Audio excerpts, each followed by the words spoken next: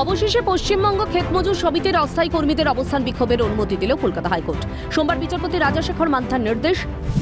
আগামী বারো দিন সকাল দশটা থেকে সন্ধ্যা সাতটা পর্যন্ত শহীদ মিনার চত্বরে কর্মসূচি চালিয়ে যেতে পারবেন এই কর্মীরা।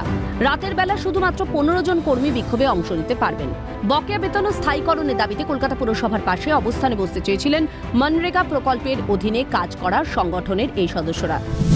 অভিযোগ তাদের সঠিক বেতন প্রদান করা হচ্ছে না। ষোলো মাসের বেশি সময় ধরে বন্ধ রয়েছে বেতন।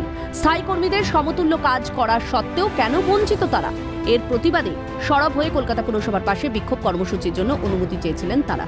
প্রথমে পুলিশের তরফে সেই অনুমতি না মিললেও আদালতের দ্বারস্থ হয়ে বিশেষ কিছু শর্ত সাপেক্ষে অনুমতি মেলে। তা না মানলে পুলিশ তাদের বিরুদ্ধে পদক্ষেপ নিতে পারে বলে জানায় আদালত।